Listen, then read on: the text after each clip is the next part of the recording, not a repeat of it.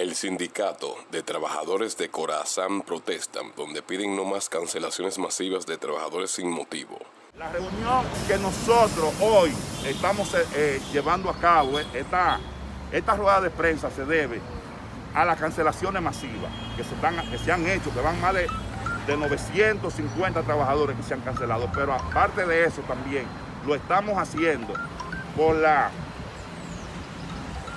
porque eh, aquí se ha tomado, se está haciendo una cacería de brujas contra los dirigentes y los miembros del sindicato. Algo brutal lo que se viene haciendo. El secretario general José Domínguez destacó que no hay piedad ni respeto con los trabajadores. Alegó además que esto no había pasado nunca en la historia de la institución. Esto hay que ponerle freno, si no la institución y la sociedad lo va a cargar pesado.